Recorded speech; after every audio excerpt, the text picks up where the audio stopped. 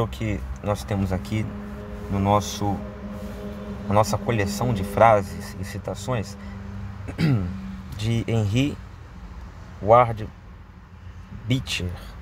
A cabeça aprende coisas novas, mas o coração sempre pratica velhas experiências.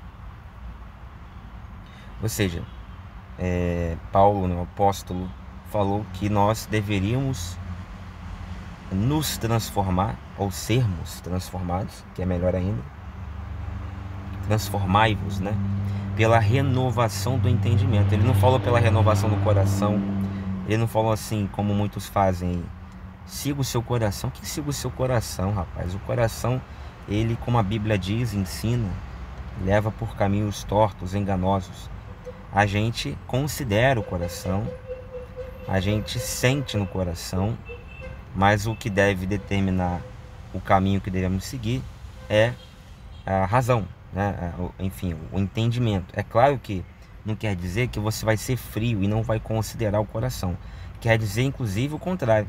Quer dizer que se você seguir prudentemente a razão, a, se você seguir prudentemente o seu entendimento, se você tiver uma, uma, um entendimento correto, fazer uma leitura correta, não é fria, é diferente, correta, adequada da sua vida, das suas ações, das suas reações, você vai inclusive é, levar em primeiro lugar, em primeira conta, o coração.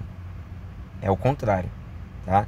É, por exemplo, se você tem é, muitas razões, aparentemente, para é, se matar, para é, bater no seu filho, para não cuidar do seu filho, para não ligar para sua mãe, para não cuidar do seu pai, para abandonar sua esposa, para, para, pare, pare, pare, e tantos paras, muitas vezes você tem razões para fazer isso. Puxa, aqui, ó, me xingou, puxa, aqui, ó, não liga para mim, puxa, aqui, ó, só me dá dor de cabeça, puxa, aqui, olha, só me dá, enfim, é, é, desgosto, Caramba, não me trata bem. Caramba, fez isso comigo. Caramba, me traiu.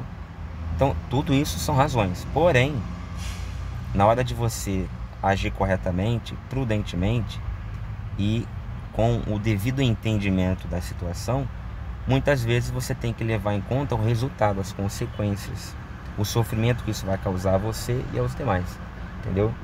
Então, nem sempre você agindo é, pelo sentimento, nem sempre você agindo pelo que você acha que é, é correto, é, você vai agir corretamente. É, você tem que levar em conta as consequências, o que é certos valores, né? A vontade, no caso de se você é cristão, de Deus, é de Deus isso. Como é que pode ser de Deus, por exemplo, eu não cuidar dos meus pais ou do, dos meus filhos, eu abandonar, né? É, é, enfim, meu cônjuge. É, há casos em que, inclusive, você tem na própria Bíblia é, que, que, dão, né, é, é, enfim, é, autorizam você a fazer isso, né, no caso do cônjuge.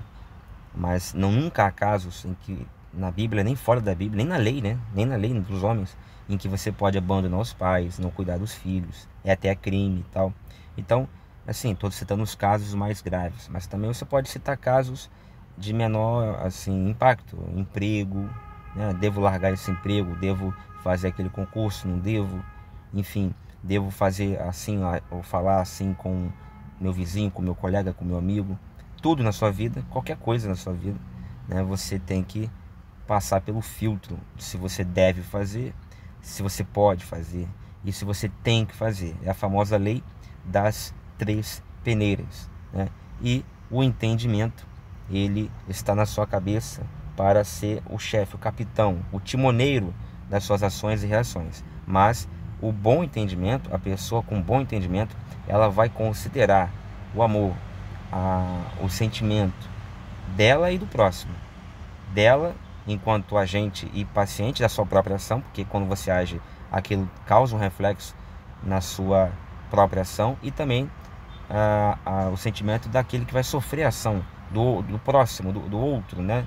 Do paciente direto da sua ação, que é aquele que vai é, ouvir o que você vai falar, ou vai sofrer o abandono, ou vai sofrer o impacto da sua ação, da sua fala, etc. Né? Bom, então a cabeça aprende coisas novas, mas o coração sempre pratica velhas experiências. Nesse sentido, a frase do Henry Ward Beecher né, vai se encaixar da seguinte maneira: é, se a cabeça é quem aprende as coisas novas, é ela que tenderá a, a, a estar, digamos assim, mais atualizada, mais atenta ao mundo, às pessoas, às coisas que acontecem, às ações das pessoas. Então ela que tem que ter a direção, dar a direção às suas ações. Só que eu só quis acrescentar que ela, a, a sua cabeça, ela vai dar as direções, ela vai dar o direcionamento, porém, se ela tiver, digamos assim, no, no caminho correto, né, inclinada a tomar, a te orientar da maneira correta, ela vai considerar o seu coração. E outra coisa que também a frase não diz, a cabeça aprende coisas novas, é, só que que coisas novas que ela está aprendendo? Aquelas coisas que você está, é, digamos assim, possibilitando a ela. Né? O local que você frequenta, as pessoas com quem você conversa, os vídeos que você, aos quais você assiste, os livros que você lê, uma série de coisas, os ambientes que você frequenta, uma série de coisas que vão é, possibilitar a sua cabeça ter é, determinados, é, enfim, é, é, emitir determinados sinais para que você tome determinadas ações ou pense de determinada maneira.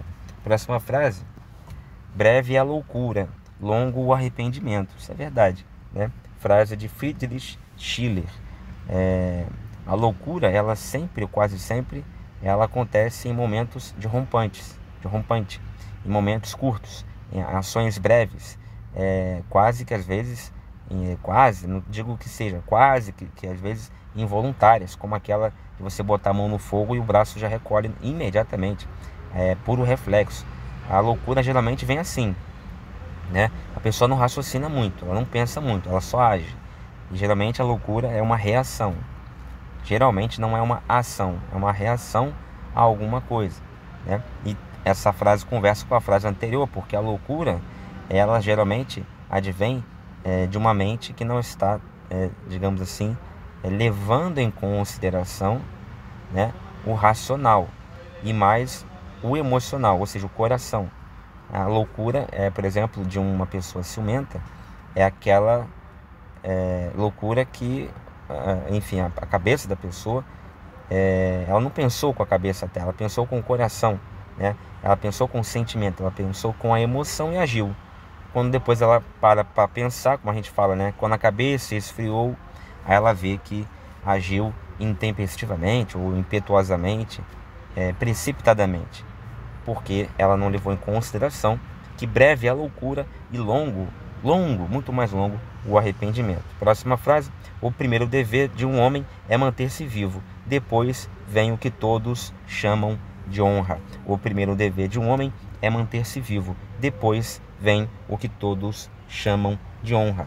É, eu concordo com isso aqui, apesar de que também o inverso não é não está errado.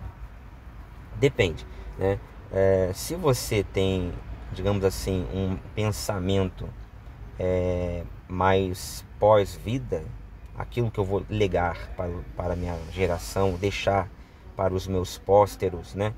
Ou seja, é o herói que morre em prol de um valor, em prol da sua honra, ou não apenas morre, mas até deixa de ganhar um dinheiro, deixa de faturar alto, deixa de se dar bem em prol da honra, você vai, não, eu vou agir conforme o correto, né? Eu vou é, agir conforme, é, é, enfim, o que é certo. Não vou me dar bem só porque eu posso me dar bem. Eu vou fazer o certo. Se eu puder me dar bem, eu me dou. Se eu não puder, eu não me dou. Agora, é, o contrário também é, não está errado até certo ponto. Ou seja, se você pega essa frase aqui, o primeiro dever de um homem é manter-se vivo, não está errado, né? Você se manter vivo é instinto de defesa. Se a frase dissesse, olha, é, procure se dar bem, depois você pensa na honra, faça tudo para se dar bem, faça tudo o que você quiser para se dar bem, depois você pensa na honra, estaria errada essa frase. Mas aqui não fala para você fazer qualquer coisa. não vende a honra a qualquer preço. E sim ao preço da sua própria vida. Então, você deixar de ter honra para se manter vivo não tem problema nenhum. Você, é, de repente, numa situação vexaminosa, é, desde uma caganeira no meio da rua, que você evita, é, ou sei lá, você é, tendo que subornar alguma pessoa para se manter vivo, qual o problema de você subornar uma pessoa? Você tem dinheiro, você suborna a pessoa, ela se dá bem, porque ganha uma grana, e você se mantém vivo, isso é honroso? Subornar alguém? Não é honroso. Mas você se manteve vivo e a pessoa ficou rica, ou ficou rica, enfim, teve levou uma grana, né, sei lá, depende da situação. Qual o problema? Qual o problema? Nenhum problema, né?